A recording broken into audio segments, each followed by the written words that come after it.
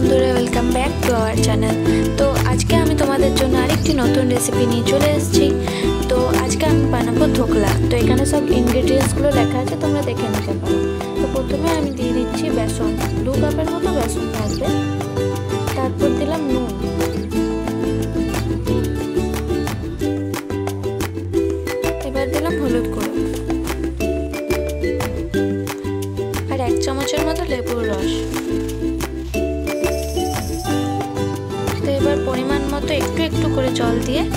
Smooth batter বানিয়ে নিতে হবে। ব্যাটারটা খুব মোটাও রাখা যাবে না, আবার খুব পাতলাও রাখা যাবে না, একদম স্মুথ বানাতে হবে। তো আমাদের ব্যাটারটা রেডি হয়ে গেছে। এবার এটাকে কুড়ি মিনিটের জন্য ঢাকা দিয়ে রেস্ট হওয়ার জন্য রেখে দেবো। কুড়ি মিনিট হয়ে গেছে। এবার আমরা ব্যাটারটার মধ্যে দিয়ে দেবো এক চামচ মতো বেকিং পাউডার। আর হাফ চামচের মতো বেকিং সোডা আর এক চামচ রিফাইন অয়েল তো এটা ওভার মিক্স করা যাবে না। তো আমাদের ব্যাটারটা রেডি হয়ে গেছে। এবার আমরা যেটার মধ্যে ধোকলা বানাবো, এই স্টিলের থালাটা তেল দিয়ে গ্রেস করে নেব।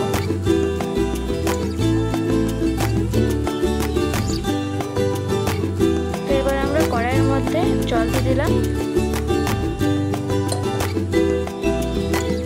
গরম হওয়ার জন্য ঢাকা দিয়ে দেবো।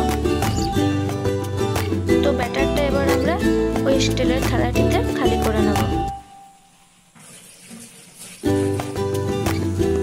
আমাদের জলটা ফুটে উঠেছে।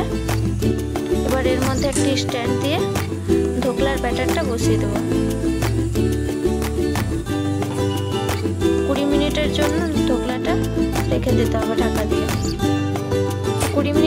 এবার দেখে নেব আমাদের ধোকলাটা হয়েছে কিনা।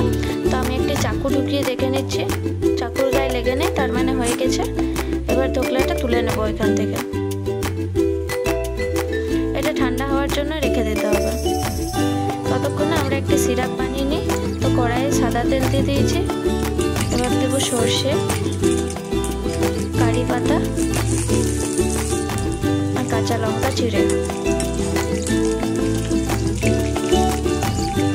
বেশি ভাজার প্রয়োজন নেই, হালকা ভাজতে হবে। এবার এর মধ্যে জল দিয়ে দেবো। এক কাপের মতো জল দিলেই হবে। এবার দেবো চিনি।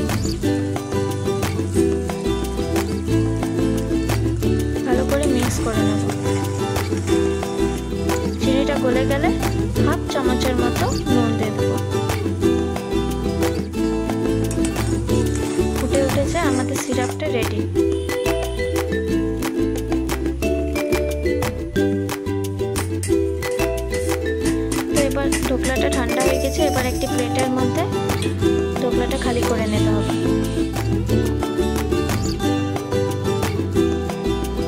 এবার এটা ছোট ছোট পিসে কেটে নিতে হবে।